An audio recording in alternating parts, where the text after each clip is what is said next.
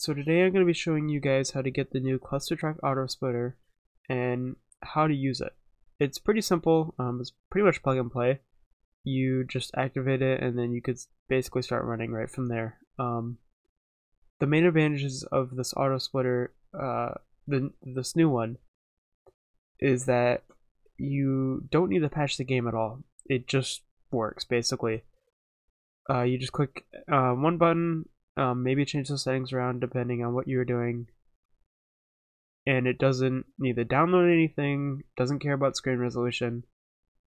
You can change the settings while in Cluster Truck, so you don't have to restart it and take up a bunch of time doing that. Uh, it also doesn't matter when you start up LiveSplit either. So you can start it in the middle of having the game started if you were just randomly practicing and want to get some times in. Um, you also don't need to re repatch the game to change any of the settings.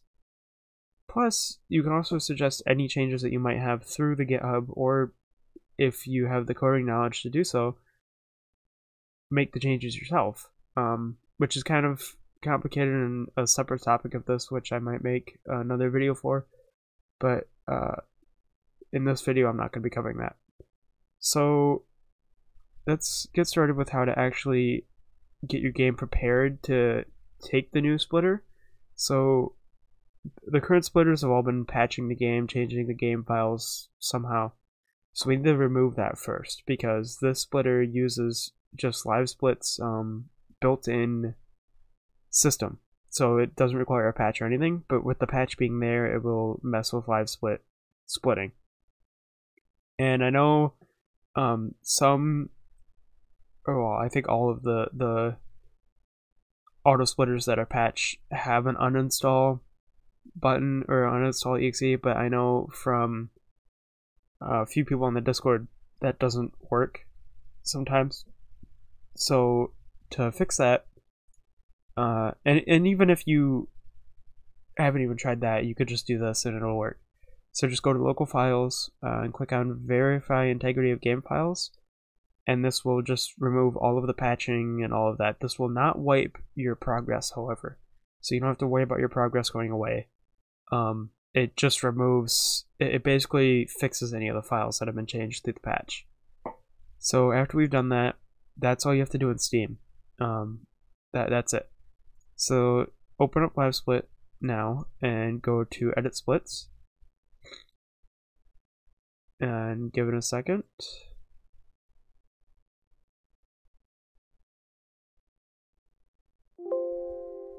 And you're gonna go in here and you first of all need to make sure your game is set to Clustertruck. Uh, run category doesn't matter. You can set it to any of them. Um, I currently have mine on no ability, but that's just because what I like to run. Uh, if you go, so you're gonna go down here and you should see this pop up open source auto splitting by level as well as by location so you're going to click on activate and that's all you have to do if you just want to run the full game. That's it. So now you can just start up Clustertruck and start running.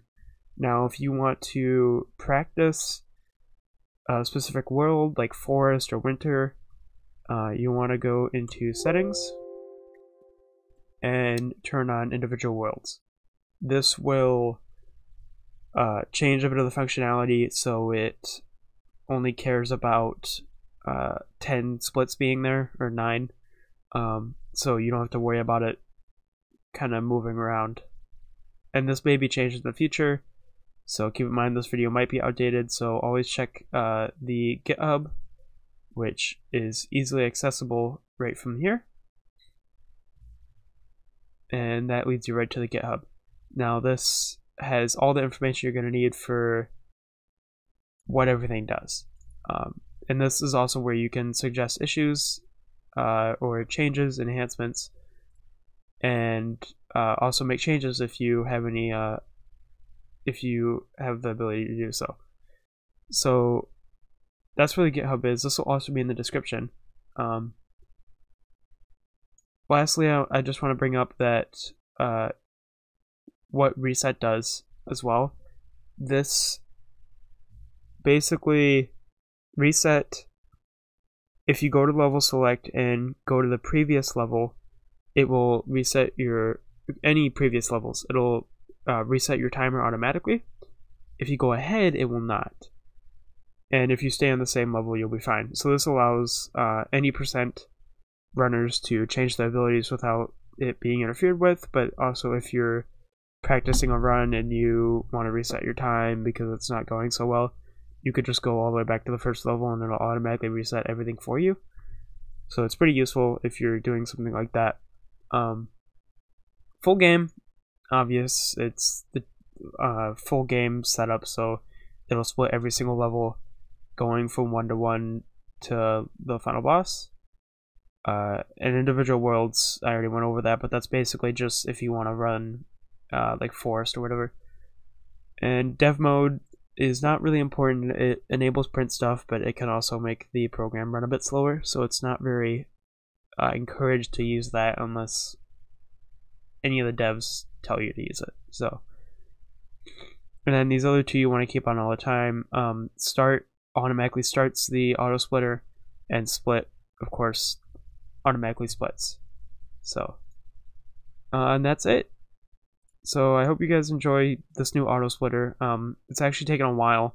I had all the splitting stuff for the levels done, uh, like three, four months ago from the posting of this video, but it's taken me a while to get the boss stuff to work.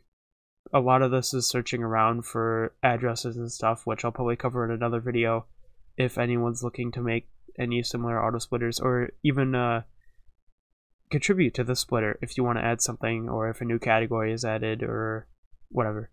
So yeah, I hope you guys have enjoyed and I hope the splitter is very helpful to the community. I know I um, haven't actually really speedrun this game at all. Uh, I came here intending to do that and then this kind of happened. So yeah,